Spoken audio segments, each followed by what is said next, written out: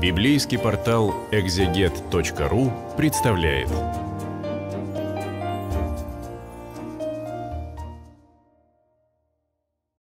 Здравствуйте, друзья! Продолжаем читать книгу Иисуса Новина для библейского портала «Экзегет». На очереди у нас 14 глава книги, в которой продолжается рассказ о том, как по жребию делилась Святая Земля – правда, в предыдущей, 13 главе, мы читали о том, как делилась земля между двумя с половиной коленами по ту сторону Иордана, то, что называется восточный берег реки Иордан, который, собственно, не является ханаанской землей и не является поэтому святой землей Израиля, которую Всевышний дал своему народу. И вот, а, разделив для двух с половиной колен наделы за рекой Иорданом, Иисус Новин вместе с э, Элиазаром, первосвященником, и с начальниками поколений израильских приступают к разделу земли э, в пределах Ханаана и э, делят ее по жребию, как сказано. Кому выпадет жребий, тот и получает тот или иной участок земли. Вот что получили в удел сыны Израилевы в земле ханаанской, что разделили им в удел Элиазар, священник, и Иисус, сын Новин, и начальники поколений в коленах сынов Израилевых. По жребию делили они, как повелел Господь через Моисея, девяти коленам и половине колена. Колено Менаше, колено Манасии, было разделено его уделы были а, разделены как бы на две половины. А, часть наделов оказалась на территории Святой Земли, а часть оказалась за ее пределами, в северном Заиордании. И вот э, в предыдущей 13 главе говорилось о том, какие наделы получила заиорданская половина колена Менаше, колена Манассии, а в 14 будет повествоваться о том, а, э, что получила эта часть половина колена по сю, западную сторону реки Иордан. Поясняется в третьем стихе. «Ибо двум коленам и половине колена Манассиина Моисей дал удел за Иорданом, имеется в виду колено Рувима и Гада. Левитам же не дал удела между ними. Ибо от сынов Иосифовых произошли два колена, напоминает нам а, священный писатель историю, которая описывается в заключительных главах а, книги «Бытие» что это за два колена произошли от, Иоси, э, от Иосифа? Манасия и Ефрем, Менаше и Эфраим. Собственно говоря, колен израильских не 12, а 13, потому что колено Йосефа, Иосифа, это два колена, Эфраим и Менаше, по именам его сынов. Посему они не дали левитам части в земле, а только города для жительства с предместьями для скота их и для дру других выгод их – колено левитское не получило надела. Сам Господь и жертвы храмовые а, его надел. А, служить Господу призваны они и не э, отягощаться земледелием. Но города левитские были разбросаны по всей земле израильской, и левиты жили в городах. А земельных участков, земельных наделов они, как Господь повелел Моисею, не получили. Как повелел Господь Моисею, читаем мы дальше, так и сделали сыны Израилевы, когда делили на уделы землю. Сыны Иудины пришли в Галгал к Иисусу. Там была ставка верховного главнокомандующего Иисуса Навина в Галгале, в долине реки Иордан, близ Иерихона. Э, и сказал ему Халев, сын Иефании, кенезиянин. Халев был один из тех разведчиков, которые, согласно книге чисел, а, ободряли Израиль и говорили, призывали его к тому, чтобы идти и захватывать землю, в отличие от других разведчиков, большинства разведчиков, которых сердце растаяло, и они а, уронили, так можно сказать, дух израильтян, устрашили их, говоря то, то что земля это поедает живущих на ней, и живут в ней великаны. Так вот здесь обращается Халев – один из тех, кто когда-то разведывал землю 40 лет назад, обращается к Иисусу. Он был кинезиянин, то есть из кинеев. Кинеяне, о них неоднократно упоминается в Священном Писании. они близки мадианитянам.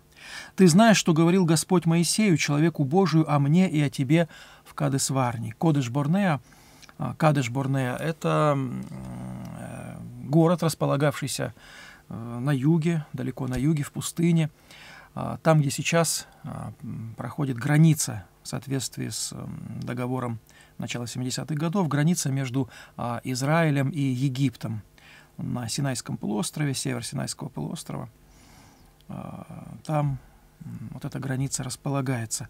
И там, а, в частности, а, этот город интересен тем, что там был найден один из рогатых жертвенников в этом месте Кадыш-Борнеа. Там произошли великие события, описываемые в Пятикнижии Моисеевом. Собственно, вокруг этой горы Кадыш-Барнеа народ много и много раз обошел в течение своего сорокалетнего странствования. Читаем дальше в седьмом стихе речь Халева. «А, «Я был сорока лет, когда Моисей, раб Господень, посылал меня из э, Кадес-Варни, Кадеш-Барнеа, осмотреть землю, и я принес ему в ответ, что было у меня на сердце. Братья мои, которые ходили со мною, привели в робость сердце народа, а я в точности следовал Господу, Богу моему». Вспоминается история с разведчиками, описываемая в книге а, чисел. «И клялся Моисей в тот день и сказал, «Земля, по которой ходила нога твоя, будет уделом тебе и детям твоим навек, ибо ты в точности последовал Господу Богу твоему», цитирует Халев слова Моисея. Итак, продолжает он дальше обращаться к Иисусу Навину, «Итак, вот Господь сохранил меня в живых, как Он говорил. Уже 45 лет прошло от того времени, когда Господь сказал Моисею слово сие. Из этого мы можем заключить, что уже не первый год, а, уже не первый год Израиль находится в своей земле, окончены войны, большей частью, которые вел Иисус Новин и израильтяне вели. И а, Израиль уже э, живет не первый год, а 4, 5 или даже 6 лет в этой стране, в своей земле. Когда Господь сказал Моисею слово сие, и Израиль ходил по пустыне, теперь вот мне 85 лет. Старцу Халеву уже 85 лет. Но и ныне я столько же крепок, как и тогда, когда посылал меня Моисей. Сколько тогда было у меня силы, столько и теперь есть для того, чтобы воевать и выходить и входить. Богатырь, воин. Итак, дай мне сию гору, о которой говорил Господь в тот день, ибо ты слышал в тот день, что там живут сыны Янаковы, и города у них большие и укрепленные. Может быть, Господь будет со мною, и я изгоню их, как говорил Господь. Некоторые города не были захвачены. Не был захвачен и Иевус, крепость Иевусейская, которую захватит лишь впоследствии царь Давид и сделает столицей объединенных колен Израиля – вот э, города сынов Инаковых, этих исполинов, захвачены тоже не были. И тогда, как мы читаем дальше, Иисус благословляет своего верного соратника Калиба, Халева, э, и благословил его Иисус, его и дал в удел Халеву, сыну Иефаниину, Хеврон. Хеврон – южно, э, южноизраильский город, расположенный на юг от э, Иерусалима. А там, как мы знаем, находится могила, находится могила в пещере Махпила, где погребены а, правцы а, с их женами. Таким образом, Хеврон остался уделом Халева, сына Иефаниина, кинезиянина, до сего дня за то, что он в точности последовал повелению Господа, Бога Израилева. Вот за то, что он не нарушил Слово Божье, он получил это благословение, получил этот великий город Хеврон, Кириат Арба, раньше называвшийся. И с этого времени город будет называться Хеврон, как мы читаем. А вот чему, какое, какое поучение мы можем извлечь, друзья, из этого. Если мы не будем страшиться, а будем исполнять заповеди Господни, то, что нам Господь повелевает, то и мы получим Божье благословение и получим удел, э, удел уже не в месте нашего странства, не, не там, где мы живем, а в Москве или в, в, в Петербурге или в Хевроне, в каком бы то ни было из городов, а получим удел в Небесном Граде, в Иерусалиме. Ибо Хеврону было прежде имя Кириат Арбы. Так назывался между сынами Инакови один человек великий. А, собственно говоря, Кирья — это тоже город. А, можно перевести как город, укрепление, крепость. А, Ир — более поздний термин для обозначения города. А вот э, в более ранние времена город называли Кирьят на хананейском наречии. Кирьят Арбы так назывался между сынами Энаковыми один человек великий. Арбы его, видимо, звали, или Арба. И заключительный стих 14 главы звучит «И, успок... «И земля успокоилась от войны». Да, оставались отдельные крепости на территории обетованной земли, которые израильтяне во времена Иисуса захватить не смогли. Войны будут продолжаться.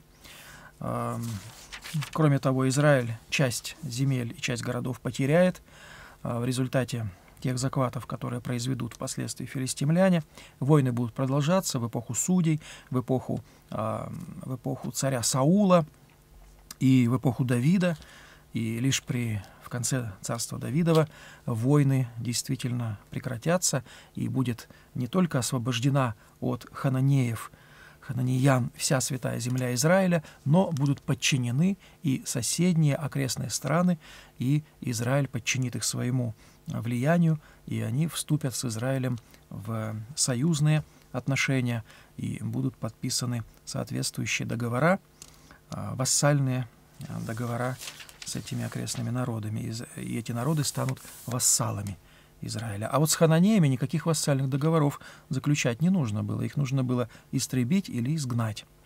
Не всех хананеев изгнали, как мы помним, были гаванитяне, которые хитростью заключили с Израилем союз, взяли клятву с израильтян, и поэтому остались жить, но жить как геры, как пришельцы, и обслуживать а, скинию в том числе, святилище, переносной храм, мешкан, а, обеспечивая водой и а, дровами. Вот так а, повествует нам 14 глава книги Иисуса Новина о беседе Халева с Иисусом и о том благословении, которое великий вождь, преемник Моисея, дал своему соратнику Халеву. Друзья, запись делается для библейского портала exeget.ru.